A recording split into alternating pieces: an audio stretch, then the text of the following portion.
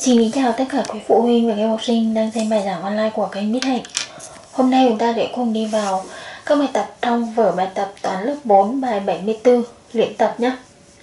Bài số 1 yêu cầu các em đặt tính rồi tính. Chúng ta có 1820. Các em chia cho 35.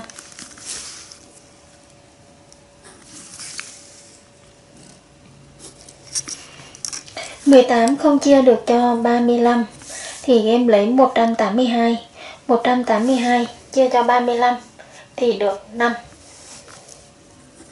Kem nhân ngược lên 5 x 35 này 5 x 5 bằng 25 Viết 5 nhớ 2 5 x 3 15 Nhớ 2 nữa bằng 17 Kem lấy 182 trừ đi 175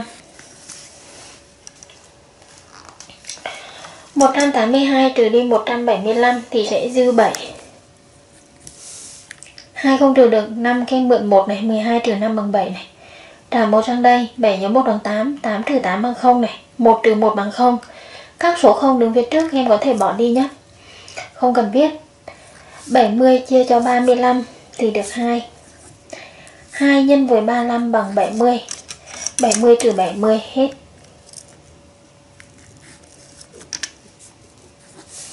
Như vậy, kết quả của phép chia 1820 chia cho 35 bằng 52 dư 0. Tiếp theo 3388 3388 Kim chia cho 49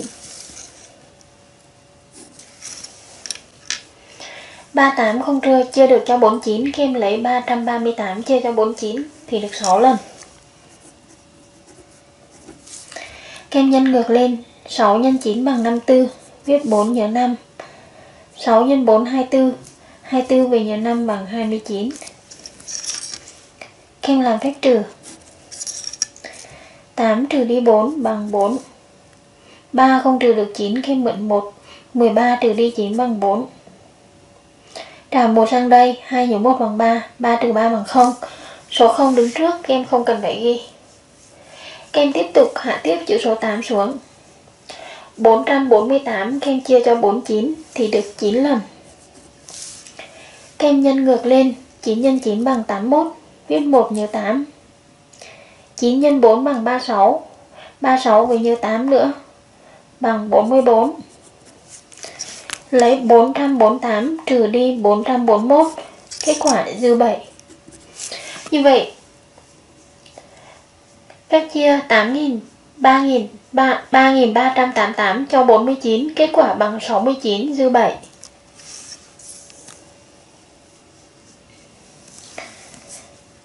Tiếp theo 3.960 Kem chia cho 52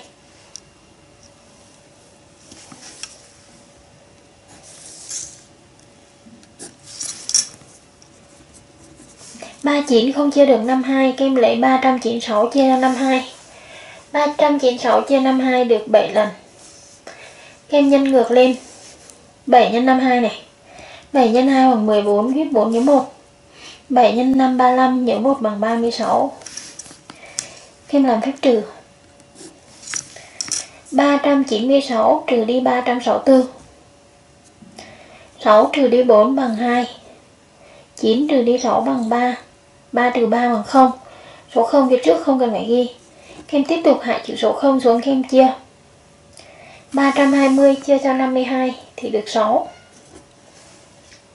Các em nhân nhân ngược lên 6 x 2 bằng 12 viết 2 nhớ 1 6 5 30 nhớ 1 bằng 31 Lấy 320 trừ đi 312 Kết quả của ta, số dư bằng 8 Như vậy, kết quả viết chia 3960 chia cho 52 thì sẽ bằng 76 dư 8. Như vậy, chúng ta vừa hoàn thành xong được bài tập số 1. Tiếp tục sang bài tập số 2.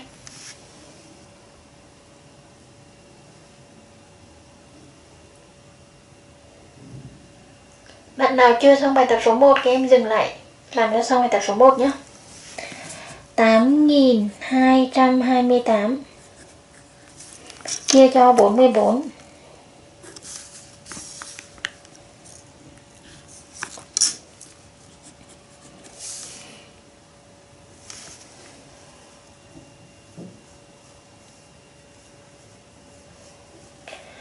82 chia 44 được một lần.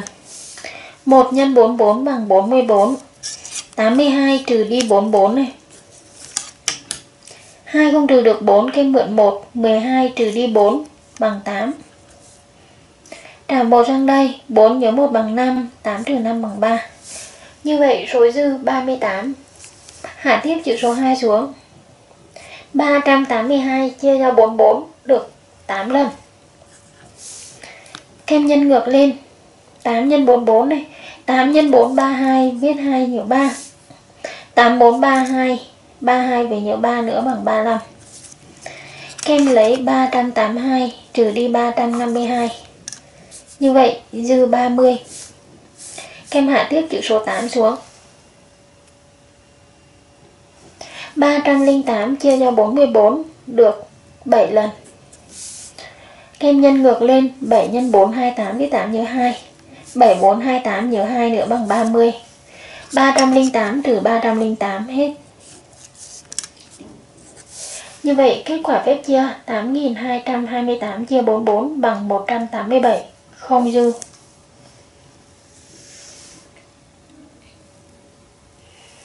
Sang ý tiếp theo. 9280 chia cho 57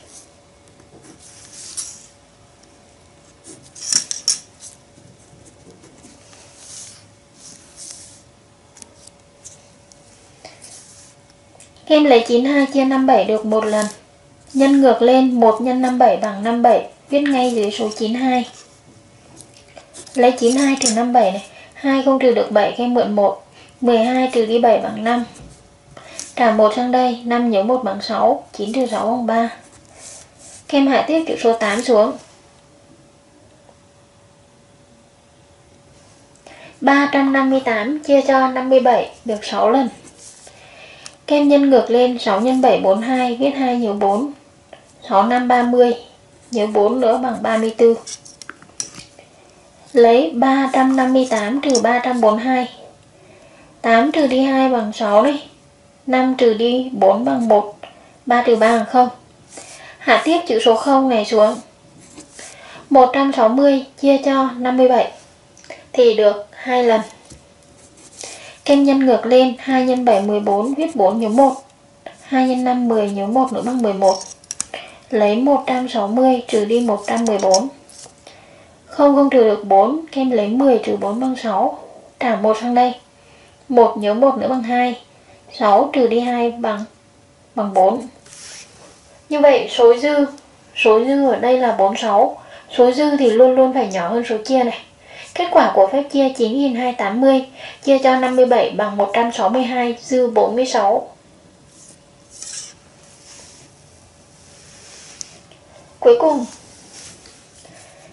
8165 em chia cho 18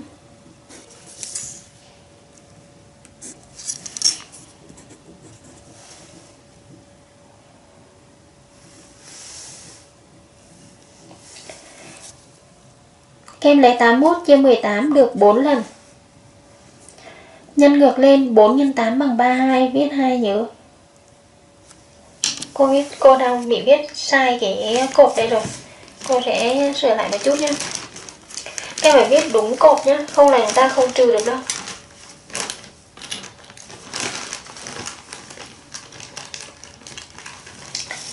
Cái số 2 của chúng ta chúng ta vừa lấy con 81 các em chia thì kết quả các em phải viết dưới con 81 cho cô. Đây, lấy 81 chia 18 bằng 4 này. Thì kết quả chúng ta phải viết dưới số 81 4 x 8 bằng 32 các em viết 2 nhớ 3 4 x 1 bằng 4 nhớ 3 bằng 7 như vậy, các em lấy 81 trừ đi 72 81 trừ đi 72 dư 9 các em tiếp tục hạ chữ số 6 xuống các em chia. 96 chia 18 được 5 Kem nhân lên, lấy 5 nhân với 18 viết kết quả ngay dưới số 96 đây này.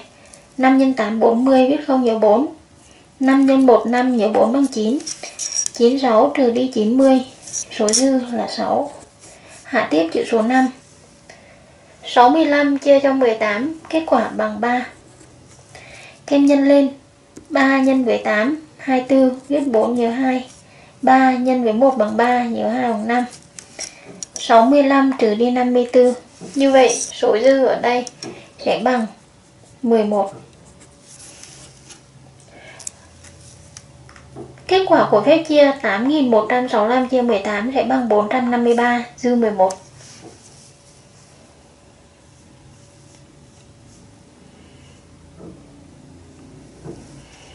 Tiếp tục sang bài tập số 3 bạn nào chưa xong hai bài tập trên, các em hãy dừng lại để làm cho xong đã.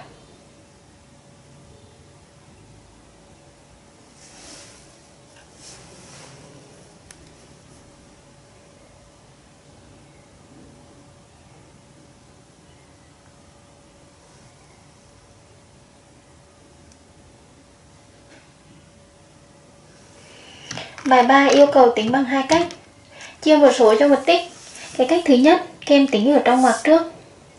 Kem lấy 216 chia trong ngoặc chỉ nhân 872 như vậy 216 kem chia cho 72 kết quả của chúng ta sẽ bằng 3 cái thứ hai, muốn chia một số cho một tích, kem lấy số đó chia cho lần lượt hai số hạng, hai cái thừa số ở trong tích. Như vậy, chúng ta sẽ lấy 216 chia lần lượt hai thừa số, tức là chia cho 8 rồi chia tiếp cho 9 Đến đây thì chúng ta có hai phép chia, các em thực hiện lần lượt từ trái sang phải. 200 các em sẽ lấy 216 các em chia cho 8 trước. 216 chia cho 8 bằng 27. Được 27 chia tiếp vào 9 thì kết quả cũng bằng 3. Làm theo cách thứ nhất hay cách thứ hai thì kết quả đều bằng 3 cả. Sang câu B. Câu B cũng là chia một số cho một tích.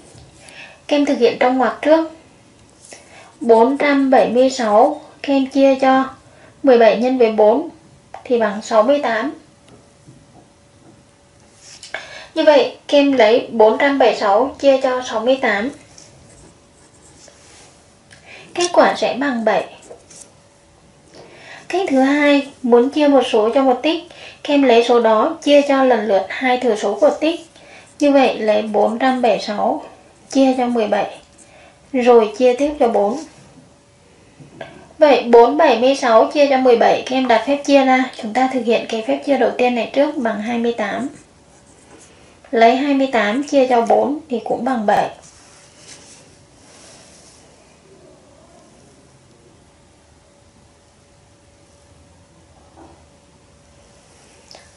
Bây giờ chúng ta sẽ chuyển sang bài cuối cùng là bài tập số 4.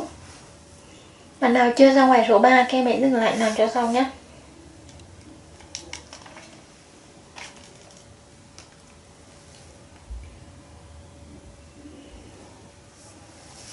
Ba bạn cùng mua một số bút như nhau và tất cả phải trả 9.000 đồng.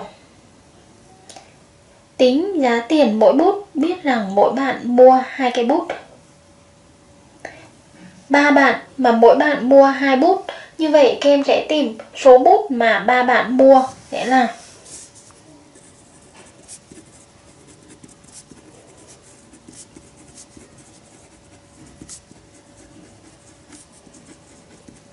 cứ mỗi bạn mua 2 bút có 3 bạn 2 x 3 6 bút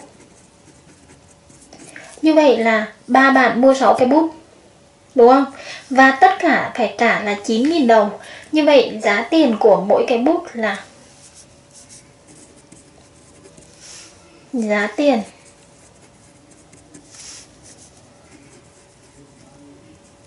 Mỗi cái bút thì em lấy lấy tổng tiền là 9.000 em chia cho 6 bút. Em lấy 9 chia cho 6 thì giá của mỗi cái bút 9.000 chia 6 thì mỗi cái bút sẽ có giá 1.500 đồng. Đáp số là 1.500 đồng.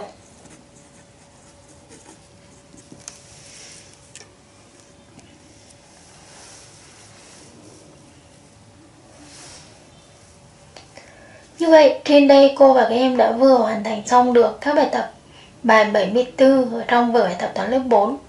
Để ủng hộ cho cô thì quý phụ huynh cũng như các em học sinh chúng ta hãy nhớ like, chia sẻ và nhấn nút đăng ký màu đỏ ngay phía dưới góc phải màn hình để chúng ta tiếp tục theo dõi các video mới ở trên kênh.